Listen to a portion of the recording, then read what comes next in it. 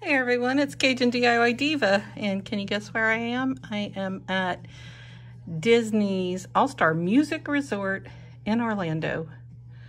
Um, this is a first floor room. I'm in building four, and let's show you the room.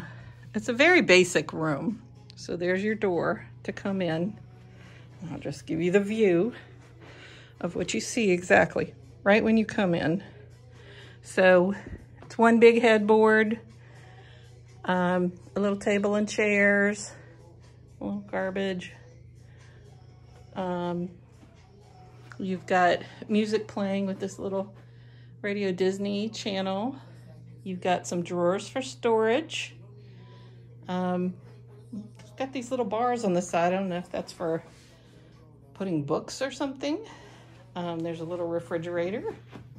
And these are two I believe, full-size beds.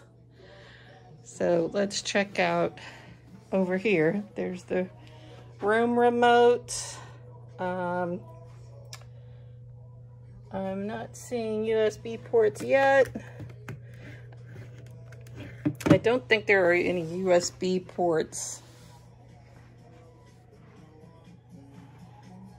And let's see, we got a little mirror.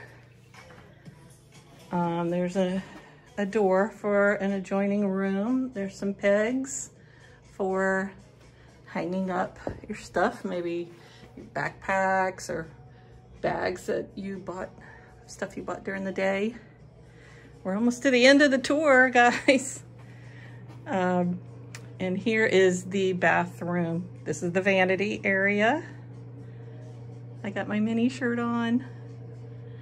And extra pillow, towels, stuff for the bathroom, hair dryer, um, shampoo, soap. The shampoo's not in here, just the uh, soap, tissues, and the bathroom with a bathtub.